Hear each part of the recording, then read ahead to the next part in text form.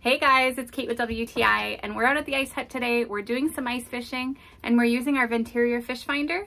Let me show you how it works. Once you know the depth of your ice, um, in our case, since we're ice fishing, which is very deep, you set up your little flotation at the top and you're ready to go. This is the transducer, so that goes down into the water and it uses sonar to detect what's going on below. Really awesome for detecting fish, obviously, but also just kind of what environment you're looking at.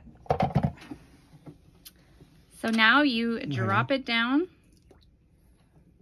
Now you turn on the monitor and it's gonna read our depth.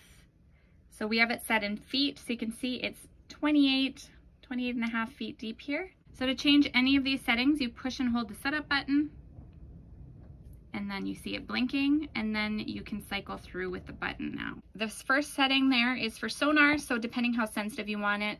Um, if you are in an area with maybe other fish finders, you would want less sensitivity, or if you have really dark water, you might want it more sensitive. So the next one is a battery saver mode. The one after that is your volume. So it'll actually beep if you have any fish activity. You can turn this on or off. That one is to change whether you want your backlight on or not and then your battery life. These little icons at the bottom show whether you have big or small rocks, big or small weeds, um, the size of your fish you're looking at. So this is the sample mode. This is gonna show you what it would look like if we had a lot of fish activity. we're not fortunate enough to have this many fish um, where we're fishing right now, but you can see that it really changes the size. It shows you how deep your fish are. So then you can adjust your depth um, to have the best chance at catching your dinner. So great little device. It's very portable. It's rugged. Um, the battery goes in the back there.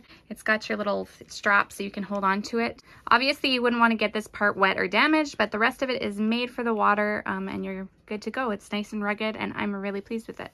So if you want to improve your ice fishing game or any fishing really, then I highly recommend this Venterior Fish Finder and that's my point of view.